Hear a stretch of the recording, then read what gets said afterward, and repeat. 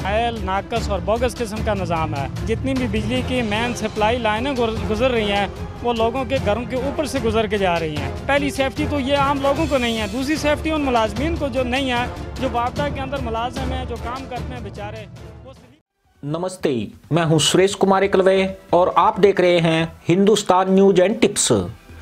सवाल अटपटा लग सकता है, पर हकीकत भी यही है कि इस देश में बिजली को लेकर आकार मचा हुआ है। लोगों के घरों में बामुश्किल 12 से 14 घंटे बिजली मिल पा रही है। यह हालात तो शहरी क्षेत्रों के हैं। ग्रामीण इलाकों में जाए तो हालात और भी ज़्यादा गंभीर हैं। किसानों को सिंचाई के लिए चार से छह घंटे बिजली मिलती है, जबकि रात के समय 25 फ़ीसदी देश अंधेरे में डूबा रहता है। यहाँ तक कि इस देश में ब्लैकआउट हो जाना आम बात हो गई है। स्थिति यह है कि बिजली की कमी के कारण इस देश की अर्थव्यवस्था पानी पी पी कर साँसें ले रही है।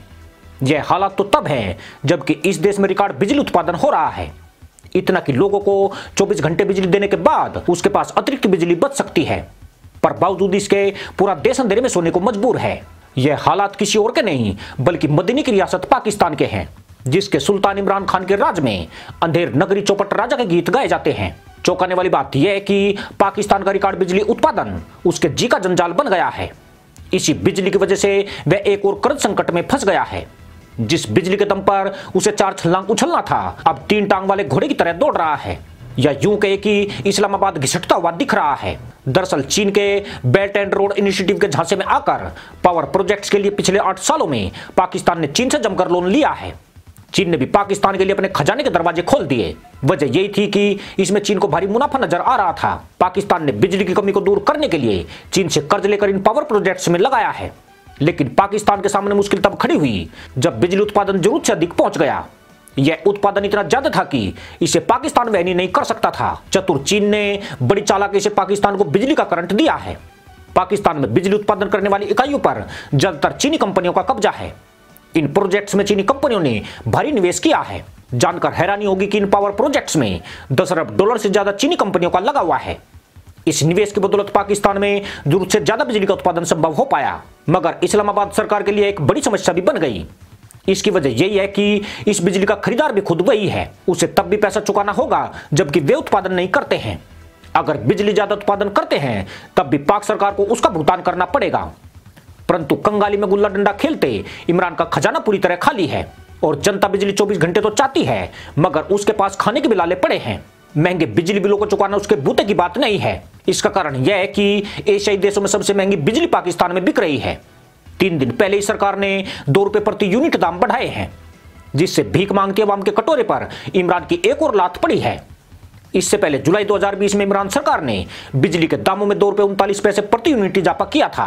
पाकिस्तान में ताज़ा बढ़ोतरी सेंट्रल पावर परचेजिंग एजेंसी की सिफारिश पर national electric power regulatory authority ने की है। आपको बता दें कि इसी साल 9 जनवरी को पाकिस्तान में अचानक बिजली गुल होने से कई शहर अंधेरे में डूब गए थे। पाकिस्तान की बिजली कंपनियों ने अनाप शनाप बिजली के दाम बढ़ाए हैं। पाक की इलेक्ट्रिक 100 यूनिट से 700 यूनिट पर प्रति यूनिट पाँच रुपए उनासी पैसे से बाईस रुपए पैंतीस पैसे प्रति यूनिट तक वसूल कर रही है। मगर ताज़ा वर्दी से इसमें और अधिक इजाफा हो गया है। पर इतने महँगे दाम देने के बावजूद भी पाकिस्तानी जनता को बिजली के दर्शन नहीं हो पाते हैं। पाकिस्तानी सरकार के ऊपर बिजली कंपनियों का ग्यारह अरब डॉलर से ज़्यादा का कर्ज चढ़ चुका है। इसमें आठ अरब के लगभग घरेलू कंपनियों का कर्ज है, जबकि तीन अरब डॉलर से ज़्यादा चीनी कंपनियों का पाकिस्तान के ऊपर कर्ज चढ़ा हुआ है। हालत यह है कि बिजली उत्पादन कम कर दिए जाने के बाद भी पाकिस्तान को पूरा भुगतान करना पड़ रहा है। खास बात यह है कि बिजली कंपनियों से पाकिस्तान को बेचे जाने वाली बिजली बेहद ही महँगी है। चीनी कंपनियों द्वारा पाकिस्तान को दी जाने वाली बिजली चीन के मुकाबले 114 फ़ीसदी महँगी है। बिजली संकट से जूझता पाकिस्तान अब पूरी तरह चीन के जाल में फंस गया है। चीनी कंपनियाँ अपने तीन अरब डॉलर की उगाई के लिए इमरान सरकार की टांगे खींच रही है।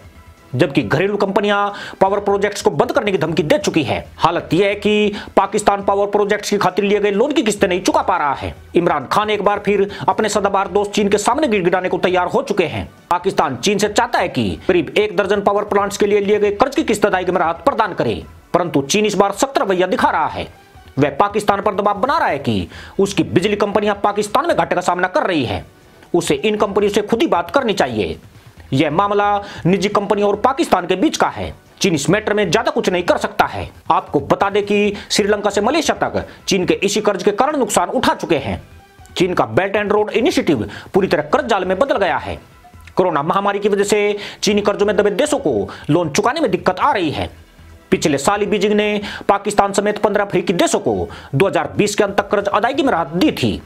बेट एंड रोड प्रोग्राम के तहत पाकिस्तान ने पिछले साल ही ग्यारह अरब डॉलर के प्रोजेक्ट्स पर हस्ताक्षर किए थे, जिनमें से अधिकतर देश के रेलवे की हालत को बदलने के लिए थे।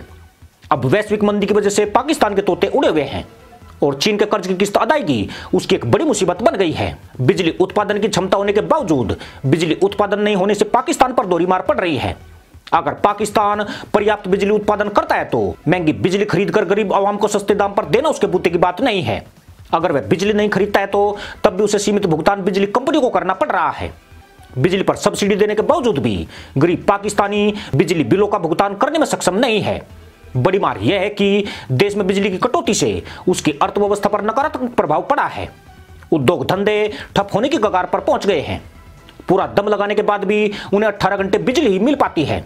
जबकि पाकिस्तान के किसान बिजली की कमी के चलते प्राकृतिक संसाधनों से सिंचाई करने को मजबूर है। जहाँ इस तरह के संसाधन नहीं है, वहाँ किसानों की फ़सलें तबाह हो रही है, या फिर उनकी उपज का स्तर लगातार गिरता जा रहा है। इस कारण से पाकिस्तान में सब्ज़ियाँ दालें, अनाज की कीमतें आसमान छूने लगी है। स्थिति यह है कि पाकिस्तान जो प्याज के निर्यातक देशों में शामिल था, आज तुर्की से प्याज आयात करने को मजबूर है। सिर्फ़ यही नहीं, पाकिस्तान का कपड़ा उद्योग भी चौपट होने की दहलीज पर है। आज ऐसे कारखाने या तो बंद हो रहे हैं, या फिर उनका उत्पादन चालीस फ़ीसदी तक कम हो गया है। इस उद्योग से जुड़े पाकिस्तान में हज़ारों लोग बेरोजगार हो चुके हैं। और रोजी रोटी के संकट का सामना कर रहे हैं। इसका मतलब यह है कि कहने को तो यह नया पाकिस्तान और इमरान की मदीने की रियासत है, मगर हकीकत में यह एक ऐसा मुल्ला मुल्क है, जिसे मोहम्मद अली जिन्ना ने भारत से भीख में मांगा था और इसे भिखारी बनाकर भिखारियों को सौंप दिया, जो तशरीफ़ उठाने गिराने और सिर को धरती पर मारने में तो अभ्यस्त हैं, मगर देश कैसे चलता है और सिस्टम कैसे काम करता है, इन जाहिलों को इसका ज्ञान नहीं है। सिर्फ़ इंशाल्लाह कह देने से समस्या का निवारण नहीं होता है। सड़क के बीच में केक काटने से गाड़ियों में पंचर होने की संभावना खत्म नहीं होती है। बल्कि इसके लिए ठोस नीति और ईमानदार सरकार की ज़रूरत होती है, जो पाकिस्तान जैसे आतंकी मुल्क में कभी नहीं बन सकती है। यू भी जाहिलों का मज़हब आतंकवाद से प्रभावित है। कल गुलाम नबी आज़ाद राज्यसभा से विदाई के वक्त पहली बार इस सच्चाई को कबूल करके गए हैं। अपने 28 साल के राजनीतिक जीवन में उन्हें पहली बार मोदी सही लगे। हिंदुस्तान अच्छा लगा और मुस्लिम देशों से उनको घिन आई इसी के साथ अनुमति दोस्तों, जय जवान, जय किसान, जय हिंद, वंदे मातरम।